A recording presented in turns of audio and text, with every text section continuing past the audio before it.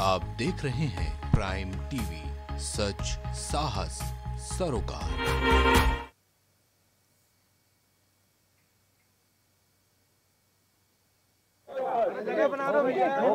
योगी बाबा जिंदाबाद। योगी बाबा जिंदाबाद।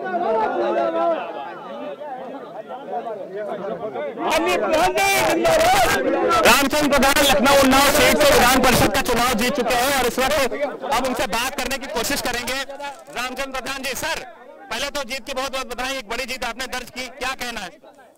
ये ये जीत हमारे कार्यकर्ताओं की है, हमारे साथियों की है, जिन साथियों एक ये कार्यकर्ता जो जोश के साथ चुनाव लड़े, जो हमारे प्रमुख विधायक सब लोगों ने बहुत मजबूती के साथ, बड़ा स्ट्रेटजी के साथ चुनाव लड़े एक एक वोटर से संपर्क किया और जो हमारी भारतीय जनता पार्टी के पक्ष में मतदान किया, कराया, उन सबकी जीत है, उनको सबको धन्यवाद और उनका सबका आभार और उस देख रहे हैं, सब खुशी में शामिल भी हो रहे हैं और हम कोशिश करेंगे कि जो ये भरोसा उन्होंने जताया है, मैं जानता हूँ कि भारतीय जनता पार्टी की नीति रीति से प्रभावित होकर के लोगों ने जिताया है।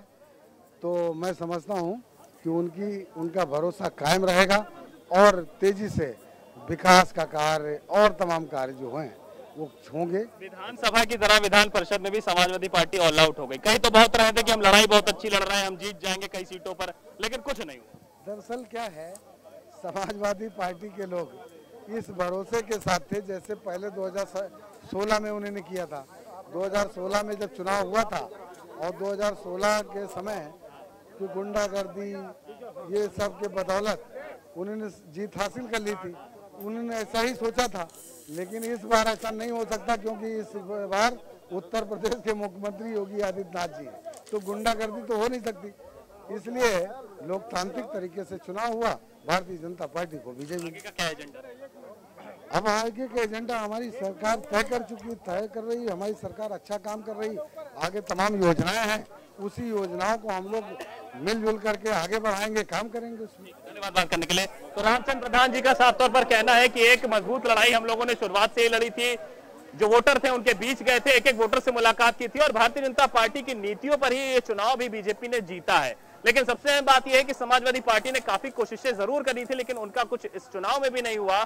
ऐसे में बीजेपी जब विधान परिषद में मज़बूत होगी तो ज़ाहिर सी बात है जो विपक्षी दल है उनके लिए उत्तर प्रदेश में काफ़ी समस्याएँ होने वाली हैं। कैमरा पर्सन शुभम के साथ मैं नितिन, प्राइम टीवी।